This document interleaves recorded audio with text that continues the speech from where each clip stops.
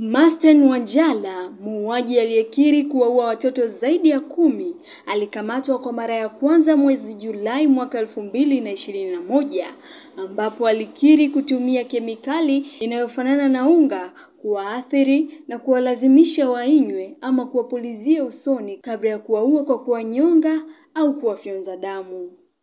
Wanjala ambaye alitoroka kwenye kituo cha polisi cha Jogoo jijini Nairobi siku ya Jumatano ameuawa hii leo Oktoba kumi na tano ya mwaka elfu mbili na ishirini na moja alfajiri ya majira ya saa kumi na mbili na dakika arobaini na tano na wananchi wenye hasira kali. Polisi wanasema Masten Wanjala alifuatwa na wanakijiji katika mji wa Bunga, Bungoma na kupigwa hadi kufa.